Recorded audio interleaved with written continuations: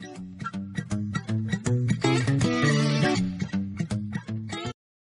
everyone, so today I'm gonna tell you how to make the best paper airplane in the whole universe. And this is, that's me. So yeah, let's get into it.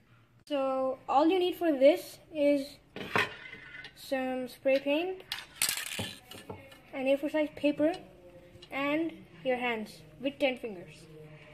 Yeah, so first you're gonna do is take spray paint and then spray it over here just like a small centimeter of it.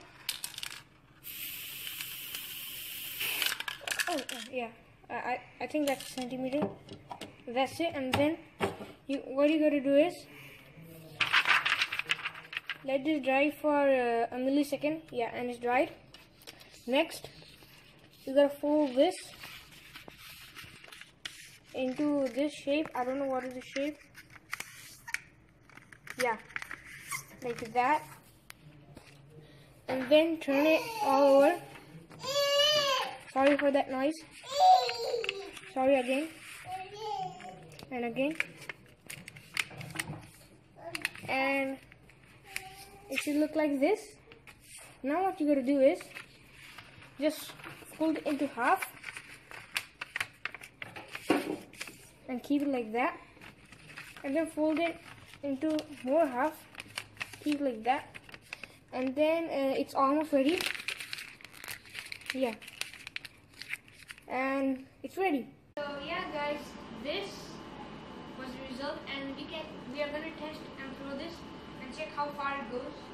Because this is the most best paper airplane in the whole universe and we can zoom in and take the beauty how it looks so yeah this looks amazing now I think we can zoom out now I'm to try to throw it.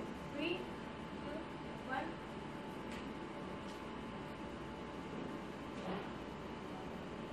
Flying.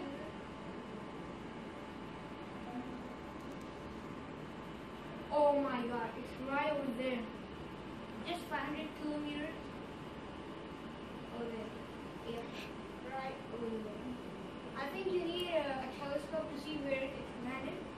So that's the best ever paper airplane in the whole universe.